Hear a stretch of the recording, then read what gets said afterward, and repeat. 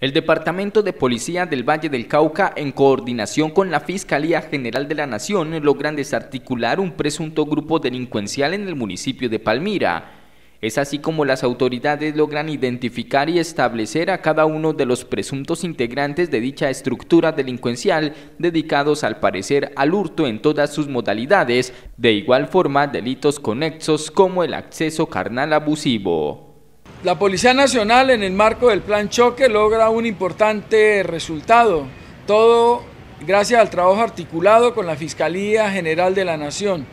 En procedimientos de allanamiento y registro llevados a cabo en el municipio de Palmira, se logra desarticular una estructura delincuencial conocida como los YEPES. Fueron nueve el total de los delincuentes capturados, personas que venían generando especialmente tráfico local de estupefacientes, hurto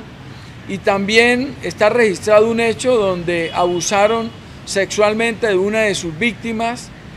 eh, en el momento en que le hurtaban también la motocicleta. Es de anotar que una de las principales pruebas contra este grupo delincuencial es la entrevista a una víctima a la cual le hurtaron la motocicleta y además fue accedida sexualmente por al menos siete integrantes de este grupo criminal. De acuerdo a las pesquisas realizadas por los uniformados, se pudo esclarecer al menos cinco casos de hurtos de motocicletas presentados en los años 2018 y en lo corrido del presente año, donde esta banda delincuencial habría tenido su actuar criminal. Estas motocicletas eran vendidas eh, mediante autopartes, venían generando violencia y presión sobre sus víctimas también para generar el pago de extorsiones derivado de estos hurtos. De esta manera se logra desarticular esta estructura que venía generando un daño sistemático y constante, especialmente en el municipio de Palmira y municipios aledaños